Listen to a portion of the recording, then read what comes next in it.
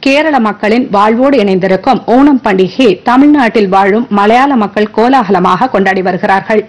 மலையாள ஆண்டின் முதல் மாதத்தில் தொடங்கி பத்து நாட்கள் ஓணம் தினமாக கொண்டாடப்படுகிறது. இந்த பண்டிகையின் போது வெண்ணிற ஆடை உடுத்தியும் பூக்கோலமிட்டும் ஆடி பாடியும் மக்கள் கொண்டாட்டத்தில் ஈடுபடுவது வழக்கம். ஏழை எளியவர்களுக்கு உணவு வழங்குவது பொருளுதவி நிதியுதவி செய்வதும் இந்த பண்டிகையின் சிறப்பம்சமாகும். கொரோனா காரணமாக அரசின் வழிகாட்டு நெறிமுறைகளை பின்பற்றி இந்த ஆண்டு ஓணம் பண்டிகை கொண்டாடப்படும் நிலையில் முதலமைச்சர் மு ஸ்டாலின் தமது வாழ்த்துக்களை பகிர்ந்துள்ளார். இது தொடர்பான வாழ்த்துச் செய்தியில் அன்பிற்கும் ஈகை பண்பிற்கும் மிகச்சிறந்த அடையாளமாக விளங்கும் ஓணம் திருநாளில் தமிழ்நாடு வாழ் மலையாள மக்களுக்கும் கேரள மக்கள் அனைவருக்கும் தமது ஓணம் திருநாள் வாழ்த்துக்களை தெரிவிப்பதாக குறிப்பிட்டுள்ளாா்